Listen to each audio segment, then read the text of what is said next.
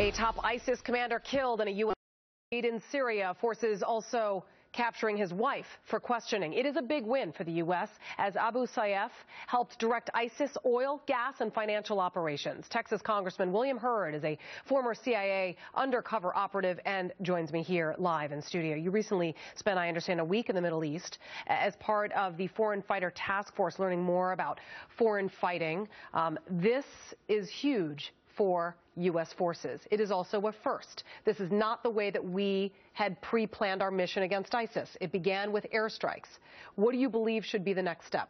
Look, uh, we got to continue airstrikes, both manned and unmanned, and we need to be um, equipping our partners in the region, the Peshmerga in, northern Iraq, the Sunni militias, you know, in, in the center part of the country. But we also need to in, embed uh, special forces like this. I, I, don't think we need huge troop movements, but the example we should be thinking of is 2001 in Afghanistan. In the fall of Kandahar, which was basically kicked all the Taliban out, there was there was 300, 400 um, Americans on the ground, 300 special Special Forces, 100 CIA, and we killed a third of Al Qaeda and kicked the Taliban out of the country.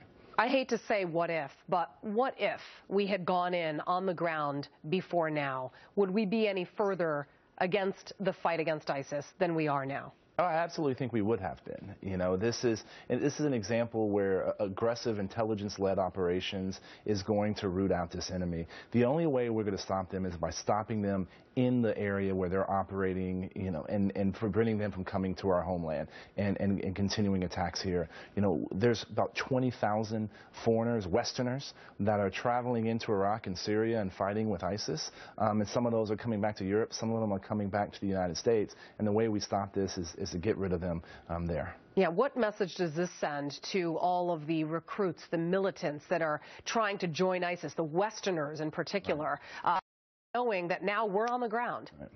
ISIS has been promising adventure, you know, stop playing video games and come come do the real thing.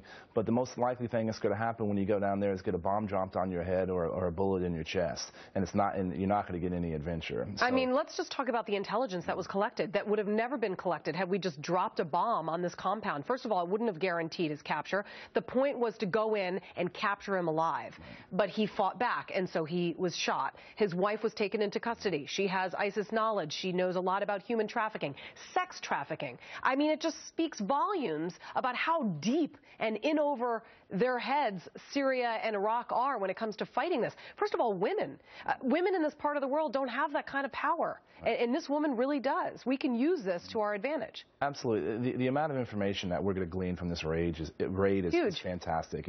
It's, you know, right now, there are hundreds of men and women in the military doing DOCEX, document exploitation, whether it's the or the actual files there. This was a senior member of kind of the cabinet, if you will, of ISIS. He was kind of the CFO uh, of the operation. He was close to al-Baghdadi, the, the head of, of ISIS. He was involved in, in financing operations. Um, and also, everyone in ISIS knows this has happened, so now they're scrambling and they're having to change um, what they're doing, so it disrupts um, their activity as well. So this, this is, is, much uh, a, a, similarity to the way we, we got Osama bin Laden. I mean, we had a compound raid. It was a pre-planned event. Uh, our guest earlier suggested that we should have another one right away. We should not let any time, you know, for them to rebuild. Absolutely. Do you believe that perhaps there is another pre-planned raid that we don't know about? Uh, it, it's possible, and, and there may be evidence or intelligence that's gleaned from this raid that allows um, continued operations. And look at this, the U.S. Special Forces; these guys are pros. They're best in the world.